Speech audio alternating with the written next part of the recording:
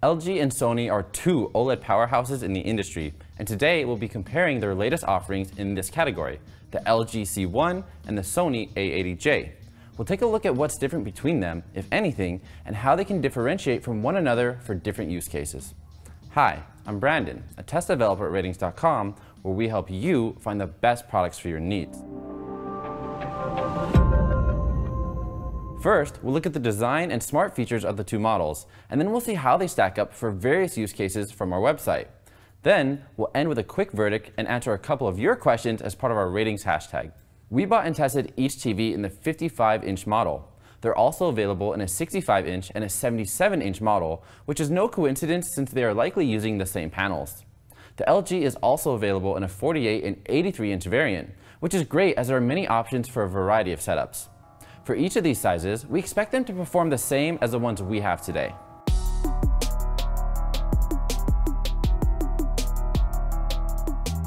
So we're going to get into the performance soon, but let's quickly take a look at the design of each TV.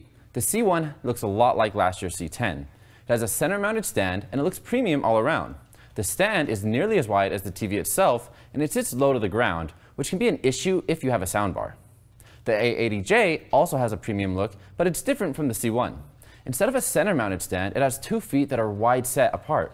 In its default setup, the Sony also sits close to the ground, but luckily it has a much more versatile stand. The metal feet can adjust to three different positions. Around the back, the C1 looks much like the older CX.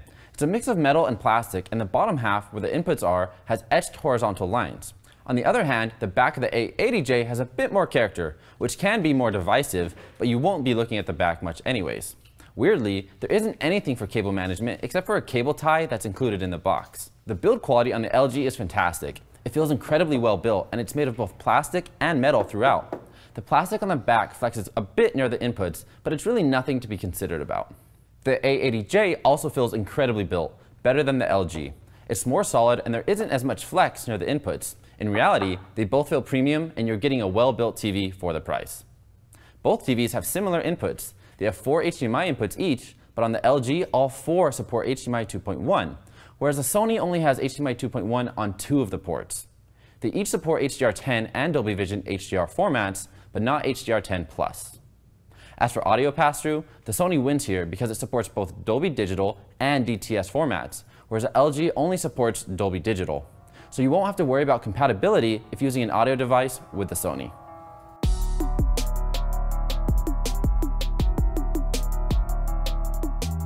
Now let's go through the smart features of each TV.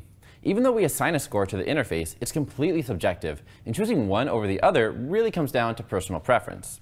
The LG comes with a new version of their webOS. It's different from past years because you now get a full homepage instead of just a banner at the bottom the interface feels easier to use than the Google TV on the Sony. Speaking of which, the Sony also comes with a redesigned interface. Google TV replaces Android TV in name, but in reality, there's little difference between them besides a facelift. Here, the menu navigation feels smoother than the LG.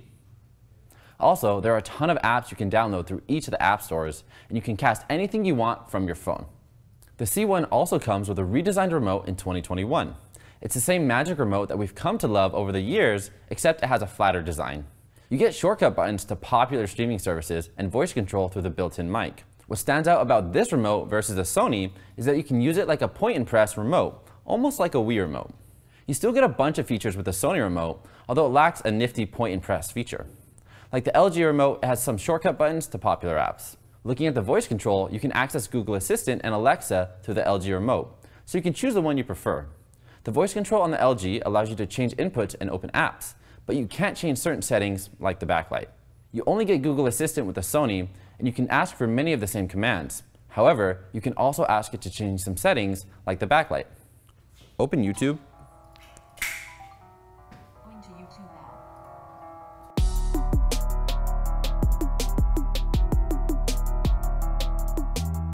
Now let's get into the details and see how these TVs compare for different usages. We separate the usages by movies, HDR, TV shows, sports, video games, and PC use. And at the end, we'll analyze the overall performance of those two TVs. First off, look at how good these TVs are for watching movies. We focus mostly on movie performance in a dark room, so there's a large weight on the contrast ratio, which is a very important aspect of picture quality. This is the difference between the brightest white and the darkest black, and OLED TVs are excellent in this regard. This is because of how they're able to turn off each individual pixel. This results in a near infinite contrast ratio and perfect black levels. Each of these TVs is a fantastic choice for watching movies in the dark because of how they can produce deep, inky blacks. Another important factor for movies in the dark is the local dimming performance. And since they're each OLEDs, they don't have a local dimming backlight, so there won't be any blooming around objects in dark scenes. And thanks to the per pixel illumination, the black uniformity is also perfect. Any dark scenes like a starfield or fireworks will look nice and contrasty. Movies are often shot in low frame rates, which can make content look stuttery when you're watching the movie. Oh, OLEDs have a quick response time, so there's often a ton of stutter with low frame rate content because each frame is held on for longer. Both TVs have motion interpolation features that can take low frame rate content and bring it up to 120 FPS to help with the appearance of motion. Also, each TV is able to remove 24p judder from any source, which helps with motion with 24 FPS movies. You can learn more about how judder and stutter work here. Each TV is so similar when it comes to watching movies, but one difference we noticed between them was out-of-the-box color accuracy. Although this applies to any use, it's definitely important for having an accurate image when watching your favorite movie. The accuracy on the Sony is much better with both colors and white balance. Accuracy can vary between units, so it's possible our C1 is worse than others, but Sony TVs are well known for their accurate color reproduction. So if that's important to you, you should be happy with the Sony. Overall, both TVs are fantastic for watching movies in dark rooms. There really is no noticeable difference between the two unless you look at color accuracy, in which case the Sony wins. Let's look at HDR movies. High Dynamic Range, or HDR, is a video format that increases detail in both dark and bright objects. Once again, it's important to have a good contrast for a satisfying HDR experience, and neither TV fails in this regard. Blacks look deep and inky when watching your favorite HDR content. If contrast helps with darker details, then brightness helps with bright details in HDR. OLEDs don't tend to get extremely bright, and both the LG and Sony are pretty standard for this. Their HDR brightness is okay, and it's enough to make some highlights stand out, but not all of them. The LG gets brighter by about 30 nits in our real scene test, and the Sony gets a bit brighter in some window sizes. There's less brightness variation between different content on the Sony, so brightness drops with large bright scenes may be slightly less distracting.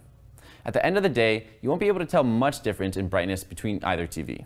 For HDR content, you also want a TV that can produce a wide range of colors, which is known as the color gamut. The color gamuts between the C1 and A80J are similar and they're both very wide. You won't be able to notice any difference between each, but because our LG has bad color accuracy, it doesn't map colors very well. This means that some colors don't look how they're supposed to.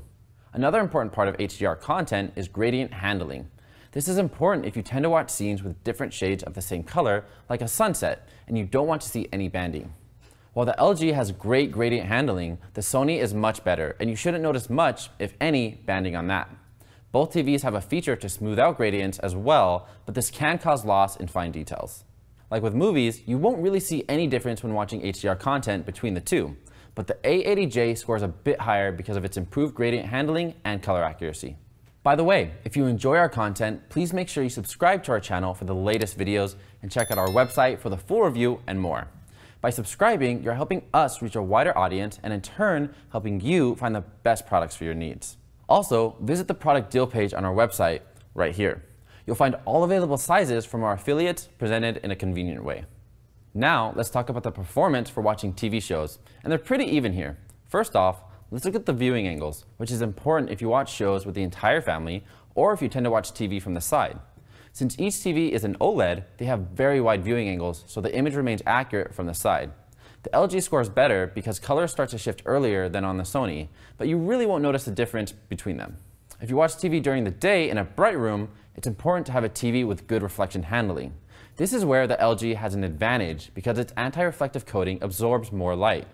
Even direct light sources don't pose any issue for this TV. As for the Sony, it's still fantastic, but it has a different screen finish that doesn't handle reflections as well. It also gives off a hazy purple tint with strong light sources. On top of the reflection handling, it's important to have a TV with a high peak brightness if you watch during the day. OLEDs don't tend to get extremely bright, and these TVs are no exception. In SDR, they actually have about the same peak brightness at about 300 nits, and you won't be able to differentiate the two. This is enough to fight some glare in a room with a few light sources around, but probably not enough if you place it opposite of a window with direct sunlight. although the excellent reflection handling will help in those cases. Overall, each TV is great for watching TV shows, and the main difference is that the LG handles reflections better. If you're planning to watch the big game with a few friends, you need many of the same characteristics as if you're watching TV shows. A TV with wide viewing angles, good reflection handling, and high brightness is ideal for watching sports in a large room with a few lights on. As mentioned, each TV is about the same for these things. The LG does have better reflection handling, but unless you're in a very bright room, it shouldn't make much of a difference. When watching sports, there's often fast-moving content, so it's important to have good motion handling. This is yet another area where the TVs are pretty equal. OLEDs are known for their near instant response times, which is the time it takes for pixels to change from one color to the next. This can cause a blurry trail behind moving objects, but this isn't the case with either TV because of the fast response times. Again, this fast response time can cause stutter with some content, in which case there's always motion interpolation on both units.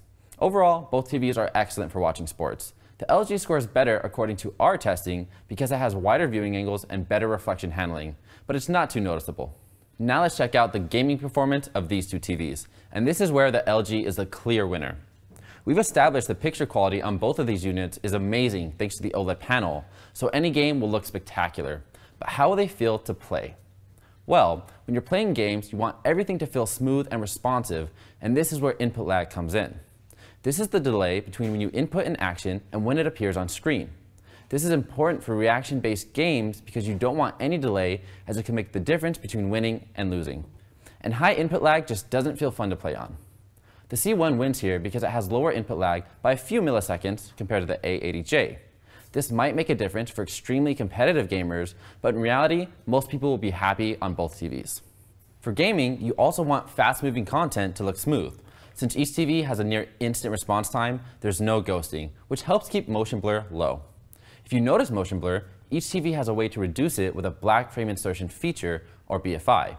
They do this by inserting black frames in between each frame in an attempt to reduce motion blur. For each TV, the BFI features work at either 60 or 120 FPS, which can significantly reduce motion blur.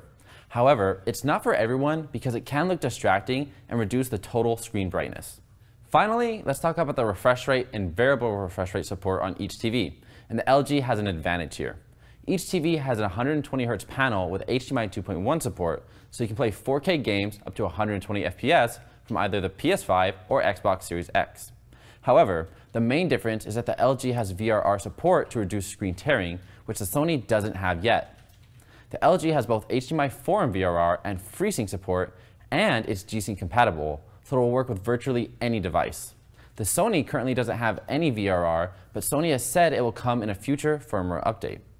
And as mentioned before, the LG has four HDMI 2.1 ports, so you can have each console and a PC hooked up to the TV and still have an extra HDMI 2.1 port free. The Sony only has two HDMI 2.1 ports, which is a bit more limiting. On top of all that, the A80J also has a limited auto game mode function, as it only works with Sony consoles. On the other hand, LG can switch into game mode with any console or PC that supports the feature. All in all, the C1 is the better choice for gaming, thanks to its VRR and ALLM features and more HDMI 2.1 ports. The gaming experience on the Sony is passable, but for anyone who cares about gaming, they'll want to go with the LG instead. As for HDR gaming, the conclusion is pretty much the same. Both TVs are using similar OLED panels, so they'll deliver an amazing HDR picture. It's also worth mentioning that on the Sony, we did notice some color banding and posterization when sending a 4K 120Hz HDR signal, which you can check out in our previous video here. Yet another reason to prefer the LG in this regard. Finally, let's talk about the performance as a PC monitor. There are a few factors that go into our scoring that we've already talked about, like viewing angles. Whether you sit extremely close to the screen or if you need to share the screen with people around you, you want wide viewing angles. These TVs do have wide viewing angles so that you'll see an accurate image no matter where you sit. Many gaming aspects are important if you plan on playing PC games. And as we established, the LG is the better of the two thanks to its VRR and ALLM support, along with more HDMI 2.1 ports. Low input lag and fast response time is also important here, and both are great in this regard. Supporting multiple resolutions is also important for PC usage, for office work and games alike. LG wins again in this category because it can display a 1440p resolution with a 120Hz refresh rate, which the Sony cannot. This is key for PC gaming because it allows you to drop the resolution to increase the frame rate without putting too much stress on your graphics card. Each TV is also able to display Chroma 444 properly, which helps increase text clarity. All things considered, the LG wins in the PC category because of its better gaming features and 1440p support. However, keep in mind that it may not be ideal to use OLEDs as PC monitors due to the permanent burn-in risk.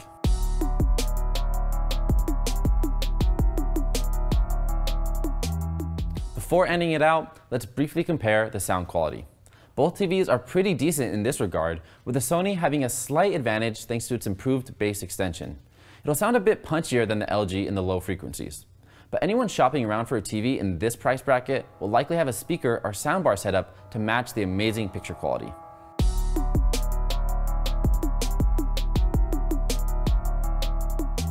So in conclusion, the TVs are pretty much the same when it comes to picture quality, and any difference is related to specific features. Choosing one over the other really comes down to how you're going to use it. If you want to use it for gaming and you need the VRR support, you can't go wrong with the LG. If you want something with good color accuracy, Sony rarely fails to disappoint in this regard. Each TV is similarly priced, which could make the decision even harder. But if you need a 48-inch or 83-inch size, the C1 is the best bet. Now that we're done, let's finish off by answering some of the questions you had for us. The two most common questions we received was how does the upscaling and motion interpolation compare between these two TVs? These are great questions, but unfortunately we can't answer them very well at the moment. Our current testing for upscaling and motion interpolation is fairly primitive, so according to our results, they perform similarly. Although in practice, this may not be the case. This is a flaw in our testing and an area we hope to improve in the future. We're always looking to provide the best reviews possible, and we'd like to thank everyone who have brought these issues up to us. Your feedback is always appreciated. So that's it. What do you think of the Sony A80J and the LG C1? Which one are you leaning towards and why? Let us know below. Also, we're a growing company and are expanding into other product categories.